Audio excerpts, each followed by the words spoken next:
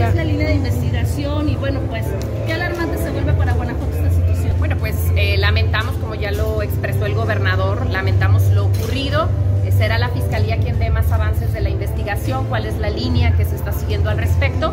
Eh, nosotros desde el gobierno del Estado, la instrucción del gobernador es reforzar la seguridad y los rondines en Irapuato en coordinación con Guardia Nacional, particularmente con Sedena y obviamente con la Policía Municipal. Desde que ocurrió el hecho hemos estado en comunicación y en reunión permanente bueno, va a haber eh, mucha presencia ya por los operativos que se Ante la baja de elementos de seguridad en Irapuato y estos hechos delictivos, ¿podría entrar el mando único en este municipio? Recordar que es una petición que hacen los ayuntamientos al Estado, si así lo determina el ayuntamiento, pues por supuesto que habría todo el apoyo. Por lo pronto, a partir de que se dio esta baja, que tuvimos conocimiento, pues hay un reforzamiento de la seguridad por parte de las fuerzas de seguridad pública del Estado y de, y de Sedena particularmente. ¿Qué les dice la alcaldesa, secretaria? ¿Qué les dice? ¿Cuál es el diagnóstico de la alcaldesa de estos? ¿Por qué no ha hablado nada? Ni un tuit de ahí, este, Bueno, entiendo que la Secretaría de Seguridad Ciudadana de Irapuato ha dado su posicionamiento, que yo creo que es compartido con la alcaldesa. La alcaldesa es una mujer que yo debo decir está muy comprometida con la seguridad en Irapuato, que participa de manera permanente en las mesas eh, y que, bueno, hoy de manera valiente también, pues hace esta depuración, eh,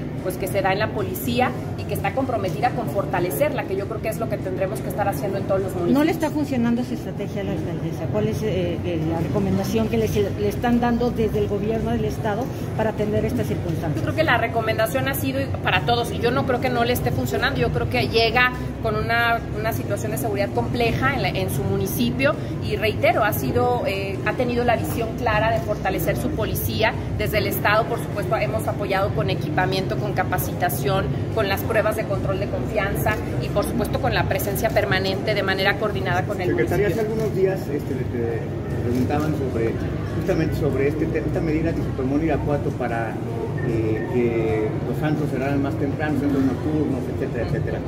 Y que la propia alcaldesa, en una frase muy polémica, dijo que nadie debería de andar después de las 2 de la mañana fuera de sus casas. Este, esta masacre se dio a las, antes de las 8 de la noche. ¿Es esta la solución que está pasando? ¿O pareciera que las medidas que se toman coyunturales no funcionan y no es un tema de horario, no es un tema sino de otra naturaleza? No, yo creo que tiene que ser un tema de inteligencia, de trabajar eh, de, inteligencia, de información. Al final, pues la problemática que tenemos en seguridad en Guanajuato tiene que ver con grupos de delincuencia organizada. Entonces, más allá de los horarios, eh, que, la autoridad municipal además está facultada para, para establecer los horarios de fiscalización a los, a los negocios, eso es, eso es muy respetable por parte de la autoridad. De nuestra parte, lo que creemos es que tiene que haber un trabajo de inteligencia. Hemos solicitado, yo lo he dicho, hemos solicitado a la autoridad federal, pues también reforzamiento de ciertas medidas, que haya más carpetas de investigación en el tema de delincuencia organizada, que se cuide de manera más eficaz las aduanas, porque el tráfico de armas pues viene justamente de las aduanas, que la unidad de inteligencia financiera nos ayude también con el bloqueo de las cuentas, los temas de lavado de dinero, eso nos ayudaría muchísimo también. inteligencia en estos municipios? No, no, pero no falta inteligencia. Lo que falta también, pues reitero, son estos puntos que nos ayudarían a fortalecer la estrategia local en materia de seguridad. No, hace falta, no, no basta solamente la presencia, porque tenemos presencia de Guardia Nacional y de Sedena, pero hace falta acciones contundentes también como estas que el